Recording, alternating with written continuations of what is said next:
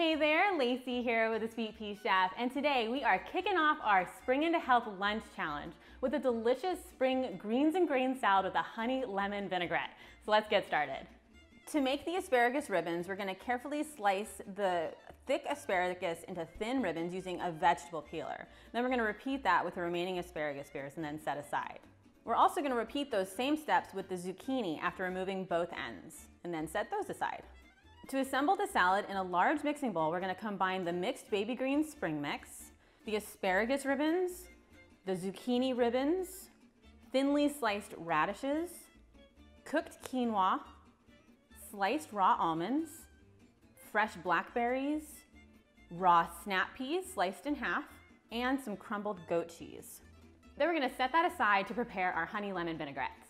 To make our salad dressing, in a medium mixing bowl, combine freshly squeezed lemon juice, rice vinegar, olive oil, lemon zest, raw honey, sea salt, and ground black pepper, and we're gonna mix this together well. To serve, just drizzle with that honey lemon vinaigrette and toss, and then top with a few more sliced almonds. If you're looking to make this salad ahead of time for a grab and go lunch, all you gotta do is use a mason jar and put the salad dressing at the bottom and those delicate greens at the top. Or you can just pack the salad dressing separately and then toss it all together when you're ready to enjoy. Thanks so much for watching. I hope you love this salad and make sure to come sign up for our free seven day Spring into Health Lunch Challenge so you can get in on all this healthy lunch goodness is going on right now. Thanks, I'll see you next time.